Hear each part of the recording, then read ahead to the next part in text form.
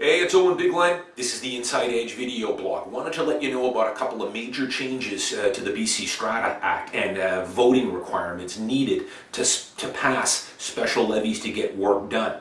Um, the first one is we all know that uh, you've always needed a three-quarter resolution to get anything passed. And uh, that's a lot of people. 75% have to vote in favor to get the windows replaced or the roof repaired or whatever. Pretty tough to do. It's a pretty tall order to get 75% uh, of uh, anyone to agree on anything, let alone spending millions of dollars to replace a roof. So that's changed now. If uh, a strata corporation has a depreciation report on file and it calls for these repairs to be done, so let's say uh, it's a balcony repairs. There's a bunch of balconies in a complex that are uh, hazardous, they're way beyond their life expectancy, they need to be replaced. In the old days, you needed to get a three-quarter resolution to get that passed.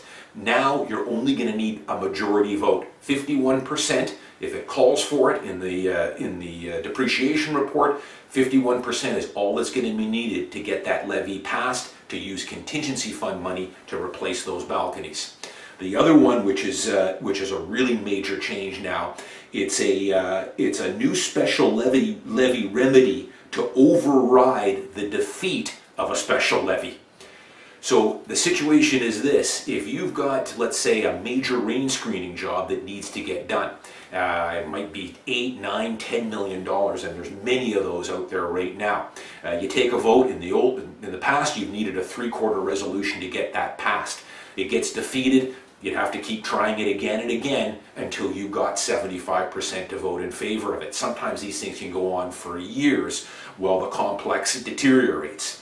Now there is a new remedy in place that if that vote gets defeated and it, it, the work is necessary, the work is necessary for the safety or to prevent significant loss or damage to the complex, the owners now can go to the Supreme Court to get that levy approved. So I'll give you a prime example of a complex in West Richmond here. 400 units, 8 buildings, they got a depreciation report done a couple of years ago and they need some work. The siding needs to be done, the balconies need to be repaired, windows need to be replaced. Um, we're looking at a cost of about $10 million to do this. It's been bandied about, revised a few times, taken down to maybe $8 million. They voted on it three times. The last vote got uh, 74%. It failed by one vote, uh, or two votes, out of the 420 owners that they needed to get this approved.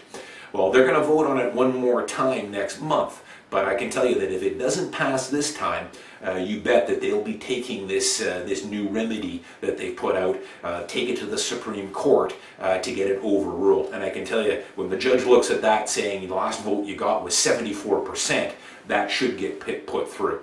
So what this all means, and I blogged about it a couple years ago, uh, this is all part of the BC government's uh, initiative to lower the, uh, the threshold to get any work done uh, on a strata. Too many of these older stratas are, are uh, falling into disrepair and uh, it's pretty tough to get 75% of the owners to get anything approved, especially when you're, when you're looking to raise 5, 10, 20, 15 million dollars to do a rain screening job.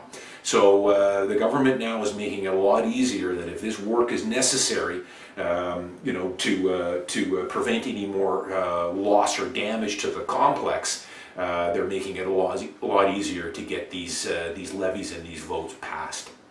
I'm Owen Bigland. As always, thanks for watching. I got homes to sell. See you next time.